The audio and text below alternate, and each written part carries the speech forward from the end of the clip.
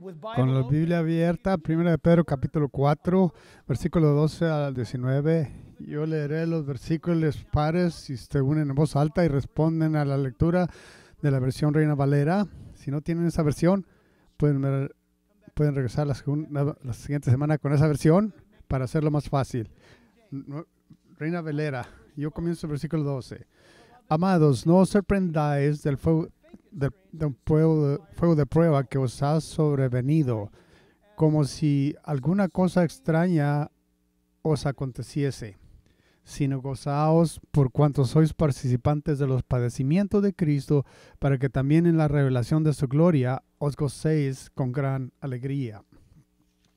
Si sois vituperados por el nombre de Cristo, sois bienaventurados, porque el glorioso Espíritu de Dios posa sobre vosotros. Cierta, ciertamente de parte de ellos Él es blasfemado el mundo, pero por vosotros es glorificado. Así que ninguno de vosotros padezca como homicida o ladrón o malhechor o por entremeterse en lo ajeno. Pero si alguno padece como cristiano, no se avergüence, sino glorifique a Dios por ello porque es tiempo de que el juicio comience por la casa de Dios, y si primero comienza por nosotros, ¿cuál será el fin de aquellos que no obedecen al Evangelio de Dios? Wow. Versículo 18, y si el justo con dificultad se salva, ¿en dónde aparecerá el impío y el pecador? De modo que los que padecen, según la voluntad de Dios, encomienden sus almas al fiel Creador y hagan el bien pueden tomar asiento. Vieron hace un momento leer eso, vieron la palabra gloria, vieron la palabra padecimientos y, la palabra vituperados, vieron las palabras fuego de prueba. Y estamos hablando acerca de la vida del cristiano. La Biblia nos dice que si vas a ser un cristiano por hechos reales, vas a tener una vida difícil. Ahora, ¿quién quiere decir algo así a una hermosa multitud de personas?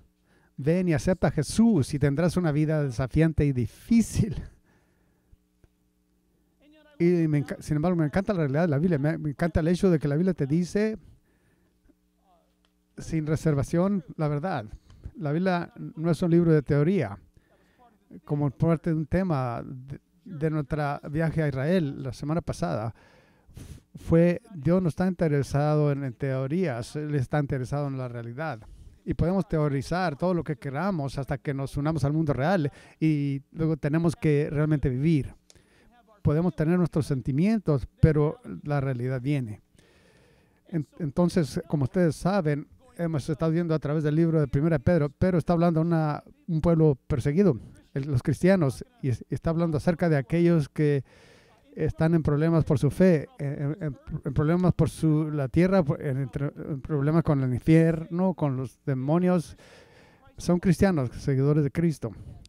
Y Él les escribe a ellos y les está animando.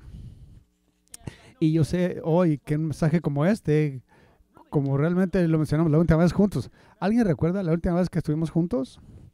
Antes del viaje tuvimos un, inicio crítico. ¿Se recuerdan eso? Vine aquí y estaba enfermo, simplemente hablé y los confundí a todos y luego me fui. me fui al aeropuerto. Me fui.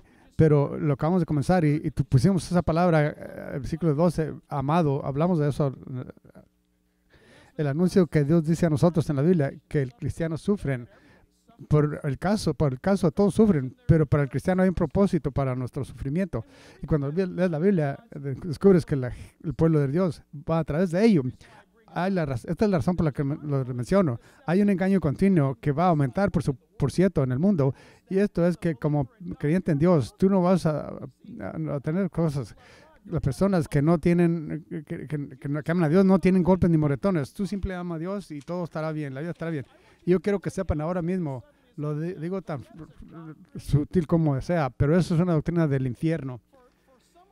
Para alguien que te diga que, algo opuesto a lo que la Biblia dice, que aquellos que viven uh, piadosos en Cristo Jesús sufrirán dificultad, eh, técnicamente persecución del mundo y del sistema, aún de, de entidades espirituales. Pero la Biblia dice bien claro que necesitamos entender esto como creyentes, así que estamos mirando el mensaje titulado lo que realmente necesitamos cuando realmente sufrimos. Y vamos a estar mirando eso por unas semanas. Tenemos el Domingo de Ramos la próxima semana y, Domingo de Resurrección después de eso. Y estaremos unas semanas después de eso en esta porción de la Escritura. Pero todos nosotros sufrimos, todos nosotros estamos pasando por algo como creyentes. Y estoy hablando predominantemente a los cristianos esta mañana. Pero todos tenemos problemas. Y necesitamos leer la letra pequeña de la Biblia. Pedro no intenta endulzarlo como con azúcar. Dice que vas a tener una prueba de fuego. Dice que vas a sufrir. Eh, tú vas a ser como Cristo en hacer esto. El mundo te va a atacar. Dios tiene un plan. Tú sabes, el otro día cuando estábamos eh, leyendo, tenemos que tener cuidado a la, letra pequeña. Dice yo viajamos mucho y viajamos mucho a Israel. Este fue nuestro viaje número 19 en esta gira de nuestro viaje a Israel y te, acostumbras a eso. Así que Lisa es una empacadora increíble. Ustedes saben, ella saca sus cosas y empaca y empaca y dobla y es simplemente fantástico. ¿Cómo lo hace? Puede meter muchas cosas en una bolsa y eso es excelente. Por otro lado, yo, ustedes saben cómo los opuestos se casan entre sí. Así que yo tomo mi bolsa, lanzo mis cosas allí, me paro sobre ella y trato de hacerlo caber todo allí, porque yo empaco en fe. yo estoy confiando que el hotel tiene una plancha para que yo desempaque mi bolsa, que es básicamente la vacío, y yo plancho esa mañana lo que necesito para ese día. Ah, ah, pero así es como yo empaco. Así que llegamos al, al aeropuerto, ustedes estamos allí estamos en tiempo, para que nosotros estemos en tiempo significa, estamos bien, estamos bien.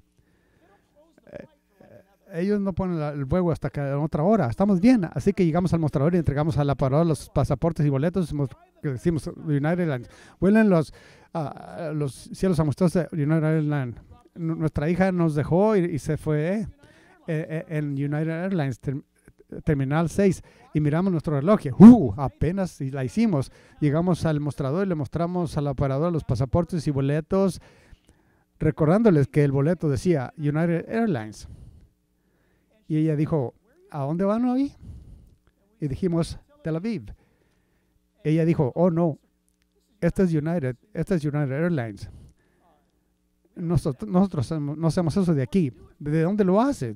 Dijimos, United dice United Airlines. Dice, mire, lea la letra pequeña. La letra pequeña aquí dice apurado por Lufthansa. Ustedes tienen que ir a Bradley. Vale más que vayan ahora porque, porque su vuelo cierra en 10 minutos. Lo van a cerrar. Así que estamos corriendo como un montón de personas a través de multitudes, jalando y pushando, como si no tuviéramos fe, como que no, como si estuviéramos fuera de control, porque estábamos fuera de control, no teníamos mucha fe. Y justamente llegamos ahí, nos subimos al avión, comenzamos con estrés. Sin, vuelo de 15 horas comenzando con estrés. El punto es este, si hubiéramos tomado el tiempo para leer la letra pequeña, no hubiéramos estado sorprendidos por lo que siempre estuvo allí. Dios dice al creyente, en este mundo habrá dificultades, sufrimientos, tiempos de prueba. Pero esto es lo que voy a hacer Jack, esto es lo que voy a hacer en eso, Lisa, esto es lo que voy a hacer, esto, y voy a poner tu nombre. Yo estoy trabajando en todo eso. Eso es lo que Dios anuncia, pero yo no leído la letra pequeña. Y muchos cristianos hoy no están leyendo la letra pequeña de la Biblia. Quieren un Dios que los ricos, un Dios que los haga felices, un Dios que los haga populares, y la Biblia no sabe nada acerca de eso. Pero es algo que el, el deseo humano quiere, así que nuestro Dios es práctico y él quiere responder estos eh, asuntos. Esto entra, esto lo que, lo que, lo que necesitamos cuando realmente se, encuentra en el versículo 12 y suena como la, la declaración de lo obvio. Y esto es fe más grande. Dice, ya sé esto. Dice, yo también. Pero necesitamos una fe más grande. Si realmente vamos a a, lograrlos, no solo lograrlos, sino que cuando la vida duele, ¿qué está pasando? Cuando somos golpeados, ¿dónde está nuestra mente y dónde está nuestra lógica? Por esa razón, ¿a dónde va nuestra fe?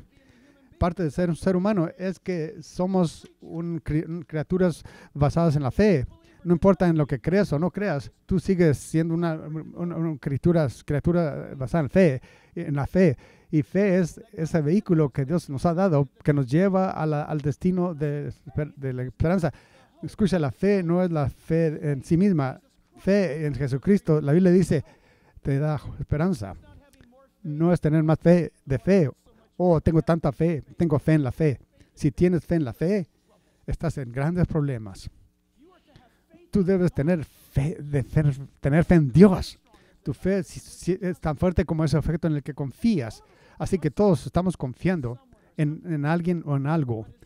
Pero es Dios. Él nos ha prometido en esta vida persecución, dificultades, dificultades, sufrimientos genéricos. Necesitamos recordar algo, que Dios está haciendo todas estas cosas en nuestras vidas y permitiendo estas cosas en nuestra vida. Número uno, para que nuestra fe sea más grande. Así que miren, versículo 12, aprendimos esto, que fe en Dios en un plan de a largo plazo, que ustedes y yo necesitamos. Escriban eso en sus notas. Ustedes y yo necesitamos ser recordados que necesitamos Ah, fe en, la, en el plan de Dios a largo plazo. Dios tiene un plan y es maravilloso. Él dice, amados, amados, no piensen, no os sorprendáis del fuego que os ha sobrevenido, que os ha sobrevenido.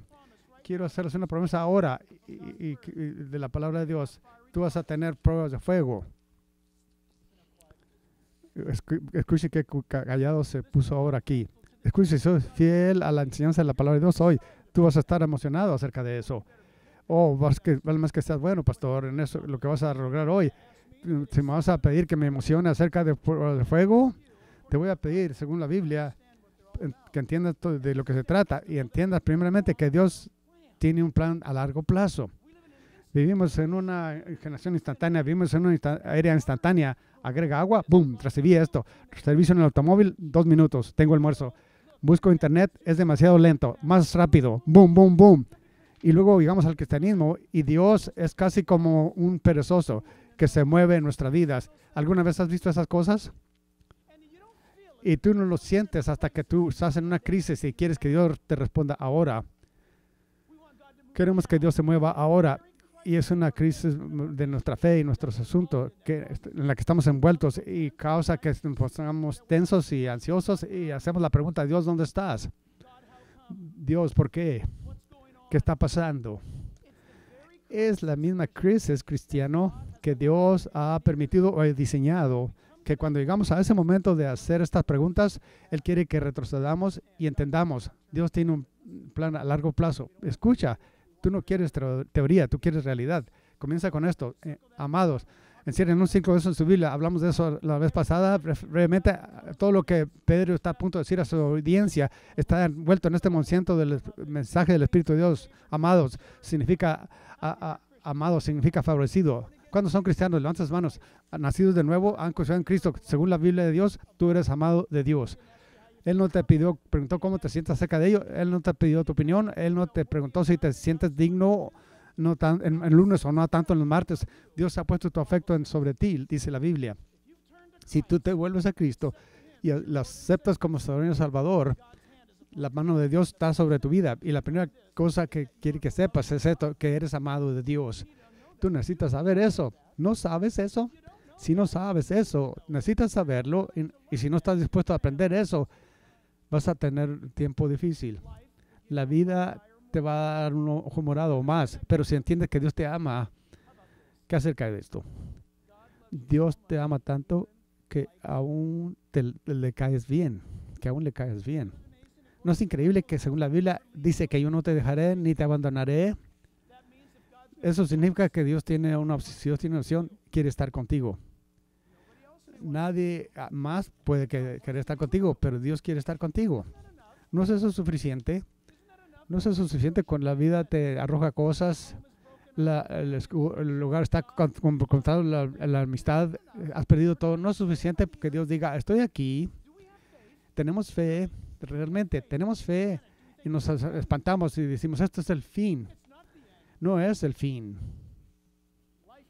Vida para el cristiano es una vida de fe y una fe cada vez mayor porque Dios tiene un plan de a largo plazo y dice amado y dice miren su Biblia no piensen no te sorprendáis la palabra sorprendáis aquí es no te sorprendas sorprendido por qué por la prueba de fuego que, que te ha sobrevenido. No te sorprenda, no seas sorprendido. La palabra significa otra vez, sábelo, no necesitas estar es- sorprendido, sea asegurado de algo, no necesitas sorprenderte por una cosa extraña en tu vida. ¿Y qué es esa cosa extraña en tu vida? En mi vida, en tu vida. Eh, Siempre es algo, cristiano. Dices, dice, yo, yo estoy bien, muy bien, espera, tu día va a llegar. Puede ser que tú o tu esposo, tu esposa, tu amigo, tu familia, papá, mamá, eh, tu hijo. Estamos hablando ahora por una familia, eh, una familia querida de esta iglesia cuyo hijo está pasando por una prueba de fuego. En realidad el niño es el, el- el pu- pu- punto de enfoque, como puedes imaginarse, que los padres están yendo a través de este punto de fuego. ¿Están conmigo?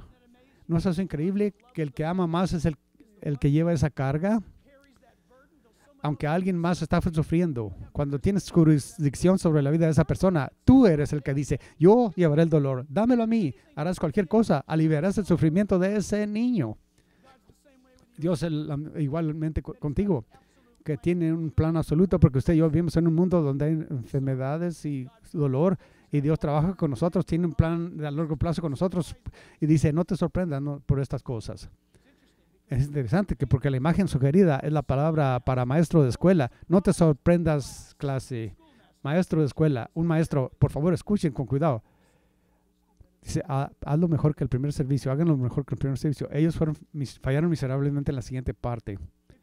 Si tú estás matriculado en la escuela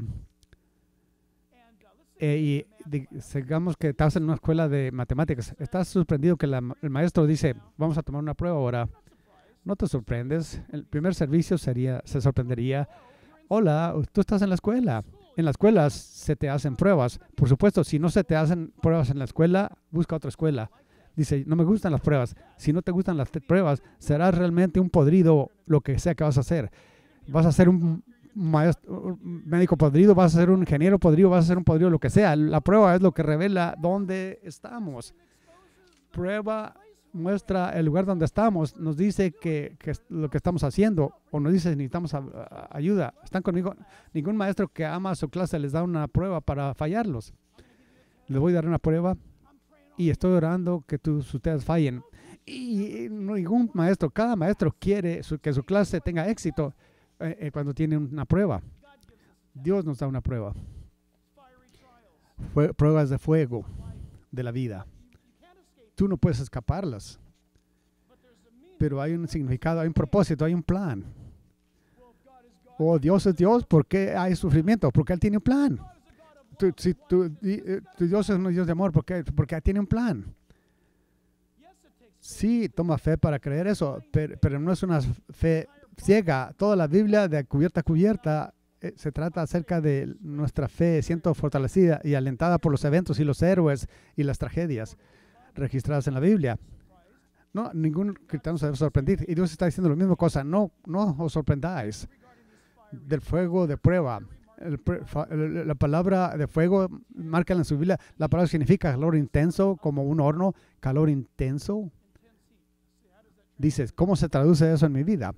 Intensa y abrumadora presión en tu vida.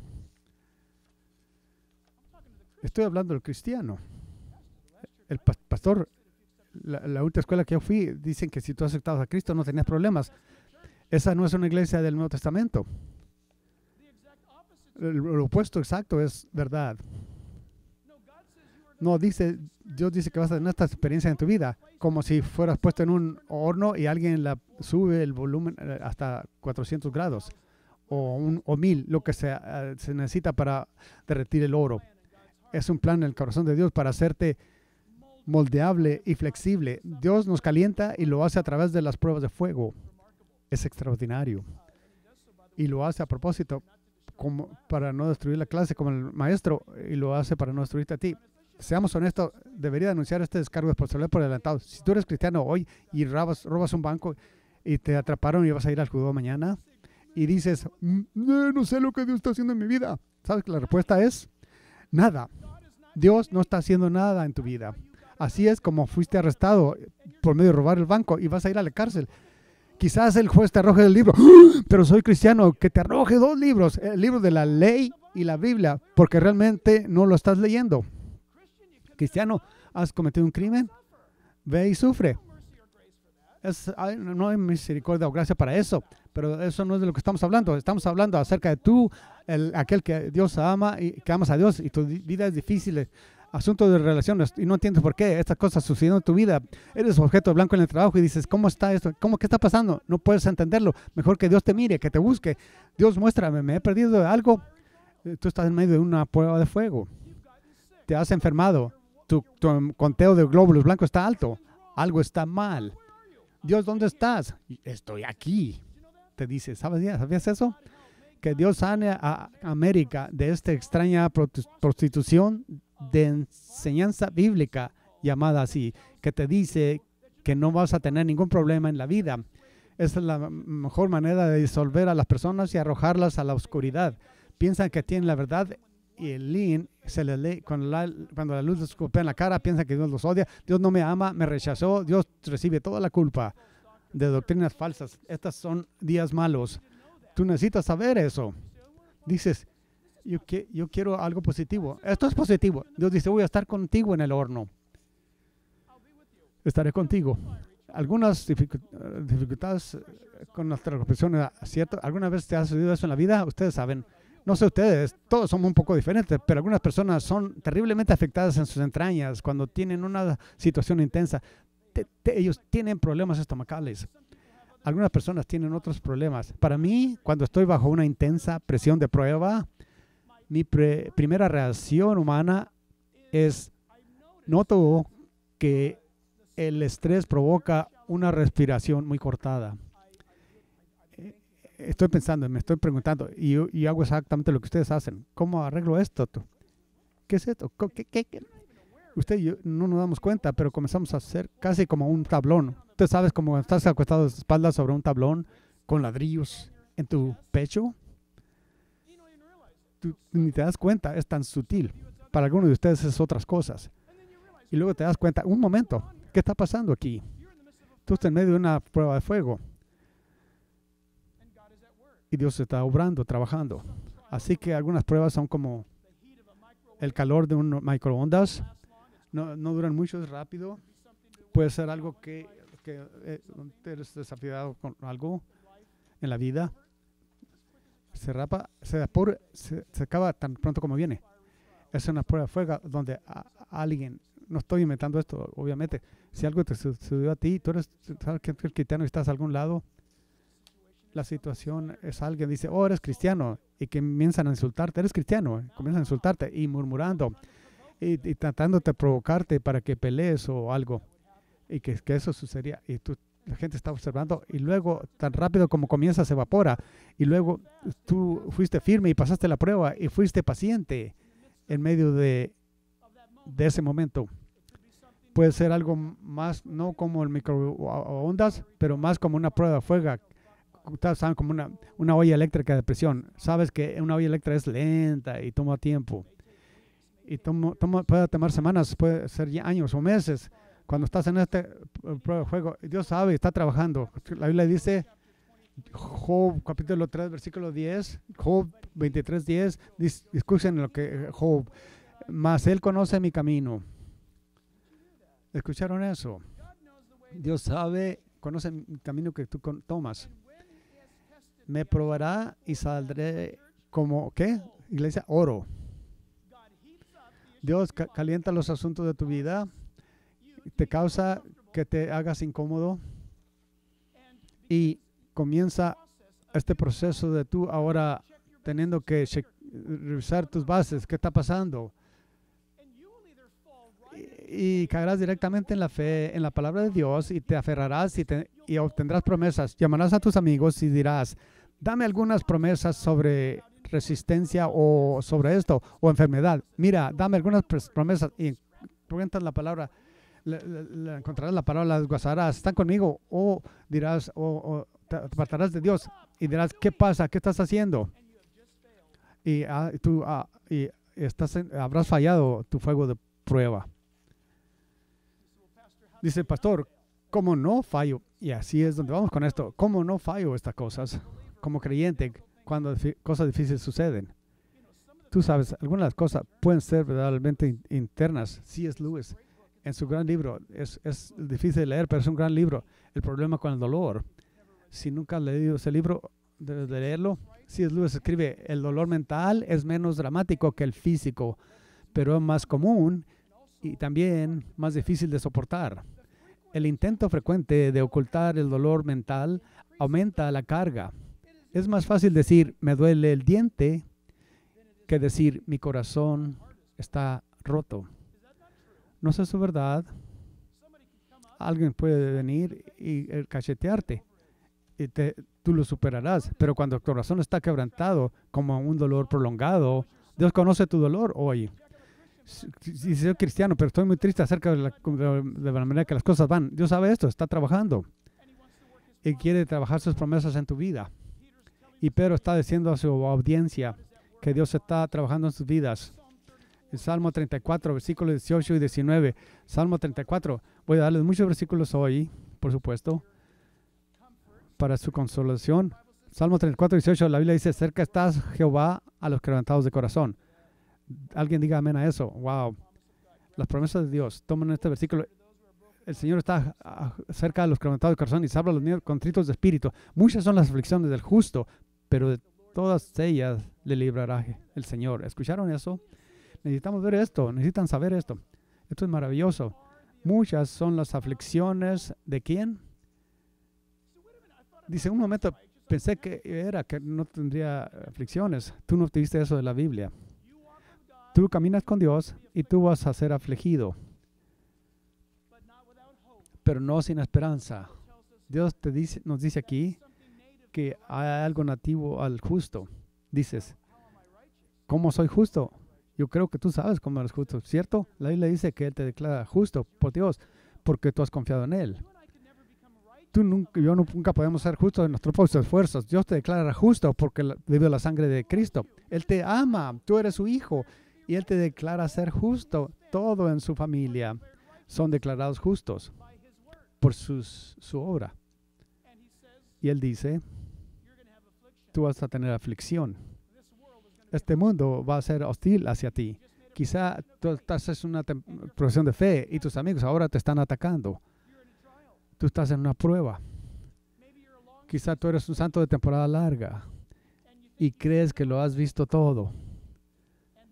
Y luego los pruebas vienen y eres probado otra vez. Escucha, desde este momento hasta el día en que yo sea A, que tú y yo seamos arrebatados en el cielo para encontrarnos con Cristo, o B, Dios te encuentre en la cama del hospital o donde sea que estés, el llamado de Dios es para ti y para mí, para aumentar nuestra fe en Él, nuestra confianza en Él. Tanto que tú lo verás en un momento lo que eso significa.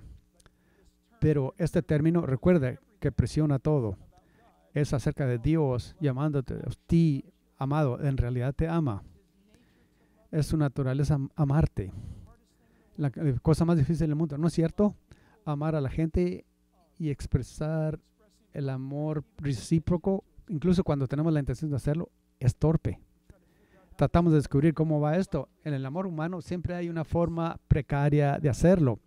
¿Y es esto correcto o es aquello correcto? O estos sentimientos o otros, ¿verdad?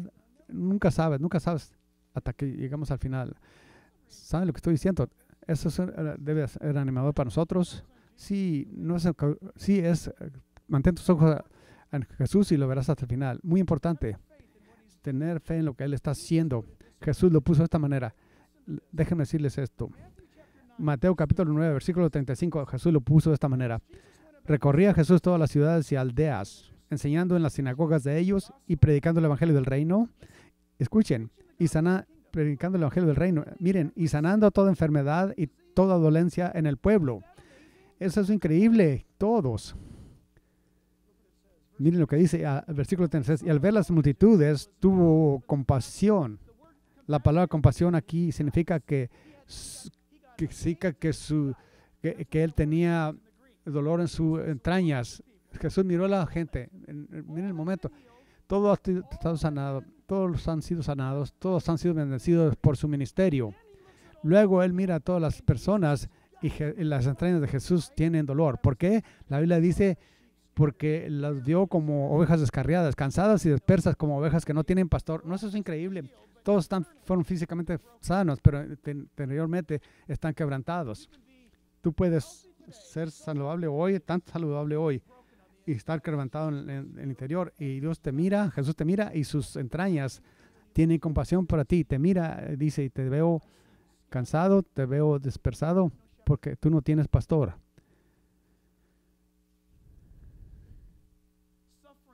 Sufrimiento te abre a las realidades de Dios.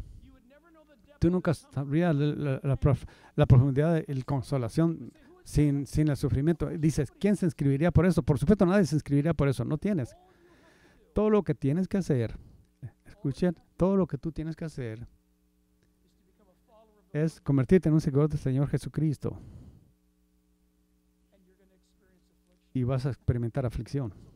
Así que ven al frente, acepta al Señor Jesucristo, los, los autobuses esperarán. En serio, como un incrédulo vas a sufrir en este mundo. Y vas a tener las mismas enfermedades y cánceres que todos nosotros tenemos los mismos asuntos de relaciones, problemas de finanzas, y tú no tienes nada a quien clamar, tú no tienes a nadie a quien ir, no tienes esperanza ni entendimiento.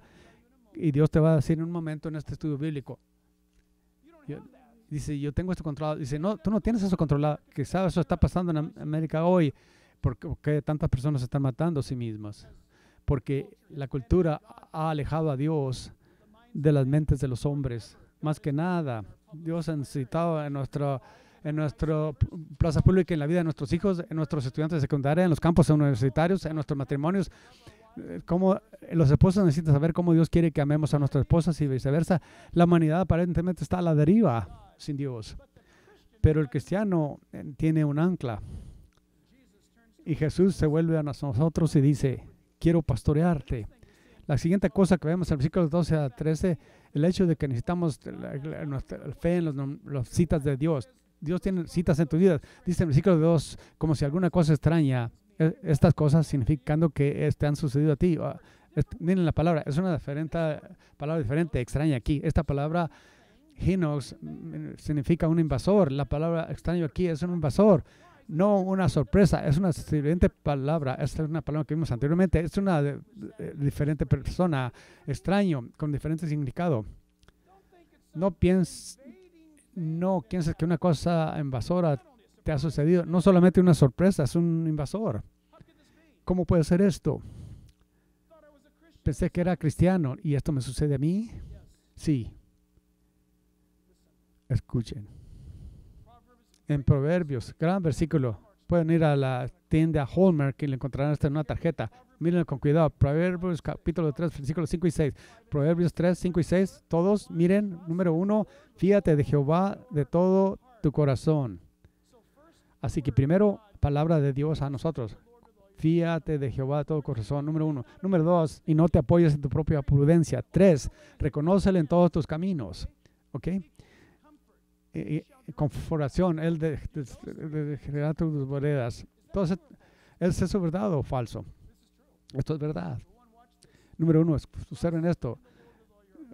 Fíjate de Jehová en todo tu corazón. ¿Por qué dice que eso primero? Escucha, sin fe no va a funcionar. Sin fe en Dios. Tú no puedes confiar en Dios si no tienes fe en Dios. Y no puedes tener fe en Dios a menos que confíes en Dios. Entonces, ¿cómo este ciclo funciona? ¿Están listos? Por medio de Dios trayéndote por, pruebas de fuego en la vida. Tú aprendes, cristiano, que Él es digno de confiar, que Él es fiel, que Él va a hacer lo que dice, dijo. Nos asustamos, saltamos de la sartén al fuego en vez de esperar al Señor. Pero si usted, esperas, confías en el Señor con todo tu corazón, como Dios me menciona. Observen esto. Segundo, no te apoyes en tu propia prudencia. ¿Qué dice? ¿Por qué dice la Biblia esto? Porque ustedes y yo, eh, y, ustedes y yo es lo que hacemos, no confiamos a Dios, vamos a nuestra propia iniciativa, y funciona así, oh, wow, ¿qué, qué, qué pasa? No lo entiendo, ¿qué? Oh, mi Dios, wow, ¿qué voy a hacer acerca de esto? Observa, ¿qué voy a hacer? O tengo que entender cómo arreglar esto, oh, mi Dios, voy a la iglesia, oh, Dios, espera, espera, ¿está, está, ¿están entendiendo? ¿Qué estás haciendo? Estás confiando en tu propia prudencia. ¿Cómo entiendo esto? Tú sabes tantas cosas que en la, que en la vida eh, Dios diseñará donde tu fe tiene que ser tan estirada. Él se encargará de eso. Escuche, nadie puede comprenderlo, nadie puede entenderlo. Tú irás a todo consejero, a cualquier en la calle, irás a la iglesia, la iglesia, iglesia, tratando de encontrar una respuesta y todos se quedan vacíos en su consejo a ti. ¿Sabías que Dios tenía eso? Él, él quiere que no confíes en la iglesia, algún papa o pastor. Él quiere que confíes en Él. Y dice, no te apoyes en tu propia prudencia. Eh, deja de tratar de resolverlo tú mismo. En otras palabras, reconoce en todos sus caminos. En otras palabras, en, cada paso, Dios guíame. Hoy, esta mañana, guíame. Y déjalo que intervenga. Pero evita esto porque esto es solamente nosotros. Nosotros tenemos que funcionarlo, arreglarlo.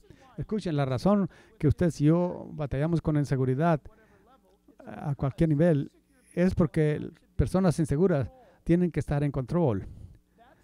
Así es como mitigan su inseguridad, es creyendo o pensando en su propio entendimiento. Yo estoy en control, así que me siento mejor sobre lo que está pasando. Eso es delirante. Están conmigo.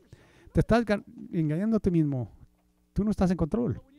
Pero cuando no confías en Dios, a alguien tiene que ser confiado y que llena ese hueco. Yo mismo y yo, la gran trinidad de Jack. Yo me encargaré de ello, me consultaré yo mismo, o tenemos, tenemos la respuesta, esto es lo que vamos a hacer, y Dios no está en él, en ello. Cuando te vuelvas a Él, Él responderá en sus citas. Cuando, mira, parece que un invasor viene de afuera a tu vida, simplemente sabe esto. Para mí esto, este siguiente versículo me emociona tanto.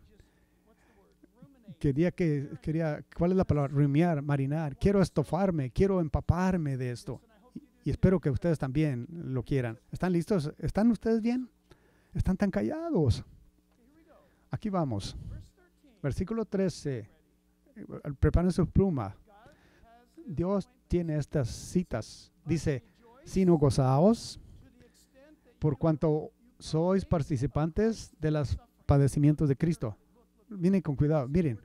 Den la palabra gozaos, enciérrenla en un círculo. Ven la palabra por cuánto, enciérrenla en un círculo. Participantes, enciérrenla en un círculo. Padecimientos, enciérrenla en un círculo. ¿Por qué? Esta declaración es clave. El cristiano que casi ve su propia existencia como un accidente, atormentado, preocupado, aterrorizado por lo que podría traer el mañana, no comprende esa simple frase. Pero oro de, que de este momento en adelante ustedes estarán listos para siempre. ¿Están listos? Número uno, regozados. La palabra significa alegrarse de lo que tú ves o lo que oyes. Este, es el contexto no es, ok Jack, esto es locura. No, no es. Alegrarte de lo que ves o escuchas, saludar con alegría, saltar con alegría a la oportunidad de saludar o dar la bienvenida a esto o a ellos, cualquiera que sea. Número uno, gozaos. ¿Están bromeando? Una prueba de fuego. Correcto. Dios dice, escucha, Dios dice, cuando te das cuenta que es una prueba de fuego, levántate y regózate dándole la bienvenida. Esto va en contra de nuestras emociones en este momento. Mañana el jefe dice, estás despedido. Ponte de pie y recíbelo. Dile al jefe, gracias por la oportunidad. Nos vemos. No digas, voy a, demandar. ¿Sabes qué? Eso es todo. no. Estás pateando contra Dios ahora. Dile, gracias por la oportunidad de tenerme aquí. Ok, limpiaré mi escritorio.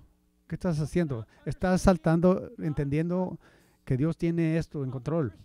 Soy cristiano, lo, amo. No entiendo todo, pero he comprometido mis caminos al Señor y la Biblia dice aquí mismo que en las pruebas de fuego comenzar de esta manera regocijándome. Es decir, levantándome, entendiéndolo.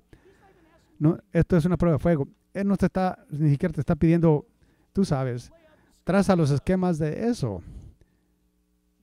Él dice, salúdalo.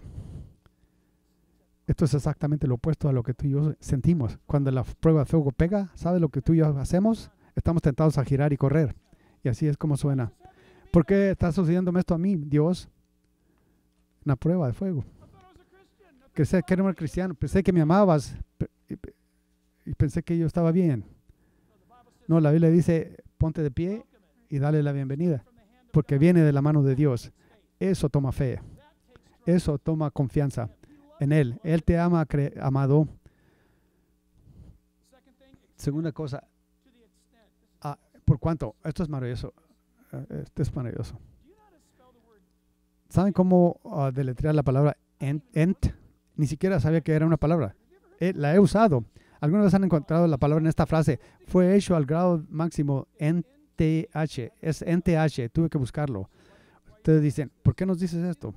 Ven la palabra por cuánto.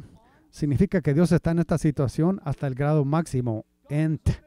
Diríamos, Dios está en esto desde el décimo al 28 poder. Diríamos que Dios está en esto hasta como nanoseconds nanosegundos. En otras palabras, Él está en esto. La Biblia dice que lo que te ha ocurrido, puedes levantarte y saludar esta prueba de fuego, porque Dios está en los detalles hasta el grado máximo, NTH. Alguien diga amén. No es un accidente. Él te ama, no va a tener un accidente en tu vida. Él sabe exactamente lo que está sucediendo y lo que sucederá. Y Él está trabajando en tu vida, no importa lo que sea. No importa lo que el doctor sea, diga, no, no importa lo que suceda en la intersección, Dios está en ello no entendemos, no podemos verlo, no necesitamos hacerlo. Dios dice, tengo esto hasta el al grado NTH yo lo, eh, en esta cosa. Y eso es un desafío para todos nosotros. Tú saltas para arriba, ahora estás empezando a ver que hay un poco más de huesos de que músculo a este saltar y saludar esta prueba de fuego. Es que Dios está en eso. Él ha diseñado la situación hasta el grado máximo, NTH. Y luego dice participar queremos participar de los sufrimientos de Cristo. Participar es la palabra griega familiar koinonia. Estamos bajo el mismo techo, estamos en la misma familia, estamos unidos el uno al otro. La cercanía, participar, la cercanía de los sufrimientos de Cristo. Esta es la vida del cristiano. Mi querido amigo, si cristianos va, pasa difícil, tiempos difíciles, no significa que Dios te ha abandonado. Dios está haciendo una obra, una obra en ti. Te está preparando para mañana, te está preparando para el próximo mes. Necesitas entender eso, entender eso, este, para que te hagas más fuerte en la fe o perdes toda la fe y te vas otra vez al mundo. Y, y pruebas tú mismo que no eras un verdadero cristiano en primer lugar. En un momento de pánico puedes aprender como verdadero creyente, Dios te, tú eres su amado. Él irá detrás de ti. participar aquí de, sus padecimientos de Jesucristo. ¿Sabías que la Biblia dice eso? ¿Sabías que la Biblia es una cosa buena que usted yo en este mundo, que, que no hay otra manera para que ustedes y yo experimentemos la persona cerca de Jesús sin sufrimiento? No hay otra manera.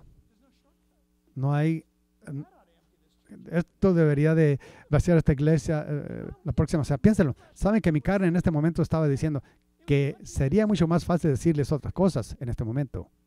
Y sin embargo, la Biblia dice que todos los que viven piadosamente sufrirán.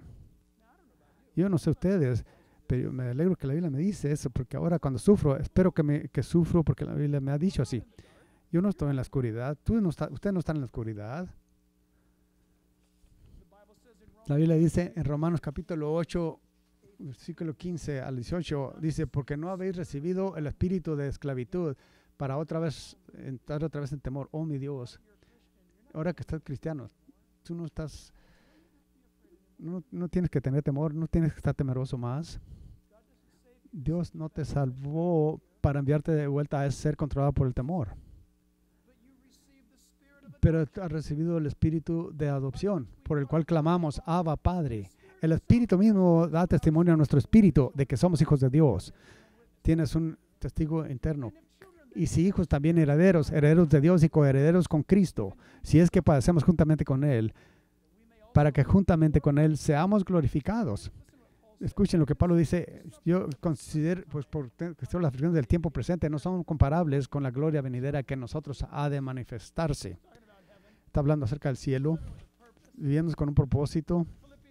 Filipenses 3:10 dice, a fin de conocerle y el poder de, sufrir, Pablo dice que hay el poder de su resurrección y la participación de sus padecimientos. Pablo, ¿por qué dices eso? llegando a ser semejante a él a su muerte. Eso es libertad, propósito. La, la Biblia dice que Jesús dice, el momento que tú mueras te, te liberas del olor de este mundo.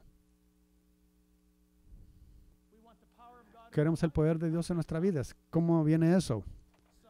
Sufriendo con Jesús. Querido amigo, alégrate. Dios no te permitirá que sufras algo eh, si tú, que tú en Cristo Jesús no puedas soportar. Esa es la promesa que te da. Todo mientras que es precioso. Él, él trabajado la obra de la cruz. La Biblia dice ha terminado. Eh, dice ha terminado. Les dije la vez pasado. Ha dicho total está terminado. Todos tus pecados pagados. Ya no más pecado para el, para el creyente. Todo ha sido arreglado. Dice, ¿por qué las pruebas? ¿Por qué esta prueba de fuego? Oh, debido a la santificación práctica aquí en la tierra. Ah, santificación práctica aquí en la tierra se traduce en un depósito en la eternidad. ¿Por qué digo eso? Escuchen esto. Cuando Él nos anuncia que Él ha terminado su obra, eh, de hecho, miren el versículo 13, fe que cuando su gloria es revelada, os gocéis con gran alegría. Dice, ¿por qué es esto? Es dos, doble, es, doble. Casi termino. Número uno, en sufrir viene la revelación de quién Jesucristo es y su cercanía. No puedes obtener de otra manera. Dice, no digas una palabra. Voy a hacerles una pregunta. ¿Cómo? ¿Qué tan cerca quieres estar a Jesús? Hasta que tú lo veas ahí, algo gente diría, yo amo a Dios, pero no quiero estar tan cerca. Yo esperaré. Entiendo esto, las emociones, pero escuchen, su, su gloria en el sufrir, cuando vas a través de ello, es tan presente, intangible y real que es tan increíblemente redentor que el asunto ya no es el problema. El asunto te demuestra lo que, lo que abrió la puerta para que puedas conocer a Dios más. Eh, y trabaja de esta manera. La hora terminada de Cristo es la santificación que ahora en esta vida lo que ustedes y yo estamos atravesando va a importar cuando lleguemos al cielo. Va a importar. Tú dices, ¿cómo importa? Escucha, tú por tú solo miras a Cristo en el rostro, solo. Tú, tú y tú y tú y aquel. La Biblia dice que ustedes y yo apareceremos ante Él. Y la palabra implica, no en un grupo, no, no será una reunión tipo Costco o Estadio Rose Bowl. Si piensas que está, no vas a pensar que está perdiendo la multitud ese día. El creyente estará y mirará a Jesús y, Jesús lo mirará a él, a ti y, y yo y a mí. Y la hora terminada de Cristo, culminamos en este momento. Observen, todo en lo que tú y yo nos levantamos para dar la bienvenida como una prueba de fuego y dificultad de la vida porque confiamos en Cristo con nuestro matrimonio, con nuestra escuela, con los problemas. Nos levantamos para enfrentarlo, no huir de Él, confiando en Él. Entendemos que Él está en el grado máximo NTH involucrado en ello. Él no está distante, Él es ahora. Él no está lejos, Él está en ello y que mi sufrimiento en este mundo vivido a corto plazo es por una razón que me estoy conformando más como Jesús es, por el sufrimiento. Así es como termina para nosotros. ¿Están listos? Tienen que escucharme en esto. Confíen en mí. No, no me crean, pero confíen en mí.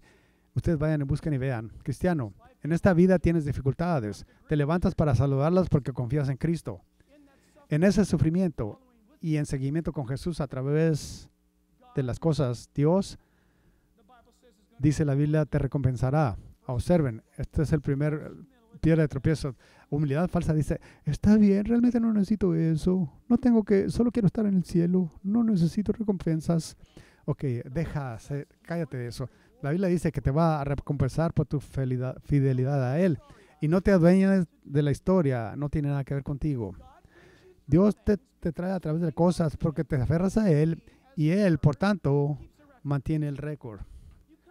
Alguna, ah, tú vienes al fin de tu vida, estás parado ante Jesús cara a cara y la Biblia dice que Él va a recompensarte Y la Biblia se refiere a esto en el libro de Apocalipsis, donde los 24 ancianos tienen sus coronas.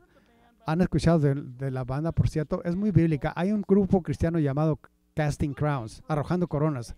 Un buen nombre para un grupo cristiano es esto. El creyente vendrá ante Cristo en el día del juicio y todas las cosas que Dios, por las que Dios te trajo, y te se subiste a Él, Jesucristo, Él te va a reconocer por eso y tú vas a recibir coronas, por decir así, y las vas a querer. ¿eh? Tú las quieres. Y esta es la razón por qué. Al fin del juicio, la Biblia nos dice que representando los 24 ancianos, dice que al aparecer ante Cristo, ellos se postran ante el Señor y ellos arrojan sus coronas ante Él y le dan gloria. Así que mi pregunta otra vez es esta, ¿qué tan cerca quieres estar a Jesús? Cerca lo suficiente para decir, Señor, me amas, yo soy tu amado. Tú haces mi vida a lo que tú quieras, lo que tú quieras. No hay razón para mí eh, eh, refunfuñar y quejarme. Te voy a, voy confiar en ti, Dios, con mi vida. Tú quitaste mi pecado, tú puedes encargarte del resto.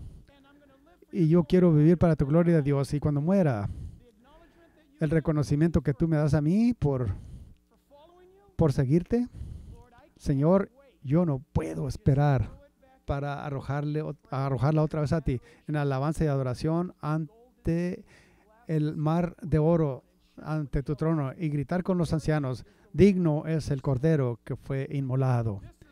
Esto es porque todo yo quiero a Jesús, oh, yo quiero a Jesús. Sí, sí, escuchas, si quieres a Jesús, entonces tenlo más cerca posible que puedas tenerlo la palabra de Dios dice a nosotros, si terminamos aquí, que cuando su gloria es revelada, ah, cuando su gloria es revelada, amigos, ha, terminado, o debería ser para nosotros es solo el comienzo. Romanos 8, 18 dice, pues tengo por cierto que las aflicciones del tiempo presente no son comparables con la gloria venidera que en vosotros, nosotros ha de manifestarse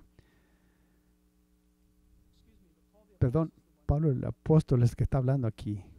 Escuchen, la gente dice, ¿tú, eres Pablo? ¿Tú eres el apóstol que sacudió el, imperio romano? Sí, ¿sabes qué? Arréstenlo. Lo arrestaron. ¿Cuántas veces? Pablo, Pablo probablemente tiene una lista de arrestos de una milla de largo. Se pueden imaginar la actividad, uh, actividad, actividad criminal de Pablo. Probablemente no lo ocuparías como un pastor. ¿Sabían eso? y luego lo apedrearon varias veces. ¿Saben qué? De hecho, la Biblia dice que lo apedrearon tan, eficientemente que pensaron que estaba muerto y, lo dejaron fuera de la ciudad. Miren, alguien que es un, un apedreador profesional, no un puchador de drogas, no un puchador, sino un apedreador que apedrean a personas. Ustedes, ustedes eran un cierto grupo de personas, eh, saben que eran como, no sé, soy viejo saben quien quiera que sean los grandes pirshas, los kershas del día. ¿No es eso terrible? Solo alinea al tipo ahí. Nosotros nos encargamos de eso. Y ellos sabían cuando un hombre había sido asesinado. La Biblia dice que Pablo se levantó y, que Pablo se levantó otra vez. Yo pensaron que yo pienso que Pablo murió. Dios no había terminado con él. Así que Pablo se levantó, lo levantó y Pablo es un, tipo curioso. Fue peleado con con esos tipos. Se levantó y, regresó a la misma ciudad. Eh, perdón, perdón, disculpen, disculpe. ¿Se pueden imaginar? El, el destacado converso al cristianismo, el, pastor, el, apóstol Pablo, el, el, ser humano más influyente en la relación con el cristianismo en la historia del hombre, era golpeado todo el tiempo porque amaba a Jesús. Wow. Filipenses 1:6 estando persuadido de esto, que el que comenzó nosotros la buena obra la perfeccionará hasta el día de Jesucristo. El Jesucristo que regrese otra vez. Él no va a detenerse. Casi terminamos. Salmo 138, versículo 8. Jehová cumplirá su propósito en mí. Tu misericordia, oh Jehová, es para siempre. No desampares la obra de tus manos. Eso es maravilloso. Y luego finalmente terminamos Judas 24, 25. Judas 24, 25. Dios te promete a ti, amigo cristiano, en la prueba de fuego, acerca de entrar en una o que acaba de salir de una, a, aquel que es poderoso para guardarlo sin caída. ¿Pueden creer, creer en eso? Yo lo creo. Yo miro a eso. Yo cuento con esto. Dios puede guardarte sin caída y presentarte sin mancha delante de su gloria con gran alegría. Noten que Él puede, Él, Él puede, no tú. Él puede. Versículo 25. Al único y sabio Dios, nuestro Salvador, sea gloria y majestad, imperio y potencia, ahora y por los siglos. Y el pueblo de Dios dice, amén, amén. Escuchen, pongámonos de pie, pongámonos de pie, pero escuchen antes de hacer eso, yo quiero que en este canto de clausura cristiano, que practiquemos. Nuestra ah, final adoración y, las dificultades de la vida un día serán traducidas en, alabanza. Esta es la realidad. Están escuchando cuidado, con cuidado. Escuchen, aquí están. Que les provoque adorarle ahora en adoración. Número uno, el nivel de tu sufrimiento determinará la profundidad de tu fe. Por eso muchos, observen mis dedos, hay muchos cristianos que nunca han experimentado ninguna dificultad en esta vida cristiana. Y estoy aterrado por ellos. Estoy asustado por ellos. Es espantador. Tu, sufrimiento será traducido a, la muerte de tu fe. La muerte de tu, la profundidad, perdón, la profundidad de tu fe será manifestada por tu seguir a Cristo hasta el final. cuando el fin cama en este mundo, cuando el fin venga a este mundo, Dios recompensará tu fidelidad. Solamente que Él pide Él de nosotros que seamos fieles. Cuando te llene con su generosidad, se pueden imaginar, Él nos va a dar gracias ¿no? por amarlo a quien nunca hemos visto por obedecer su palabra que nunca hemos escuchado, pero leído. Y Él va a darte la bienvenida. Y tú vas a darte la vuelta con una magnitud de corona, por decir así, y, bendecirlo a, Él en, la alabanza. A Él sea la gloria, grandes cosas Él ha hecho. Amén. Gracias por, YouTube channel. Si este mensaje ha sido una bendición para usted, entonces ponga el botón de suscripción porque queremos mantenerle actualizados en lo que estamos enseñando y lo que viene enseguida. Si quiere ayudarnos a aumentar nuestro alcance en sacar este, estos mensajes a una audiencia más grande, entonces puede ayudarnos a, eh, convirtiéndose en un compañero eh, pulsando el link abajo. Así que queremos darles gracias por ayudarnos a sacar la palabra de Dios a los fines de la tierra.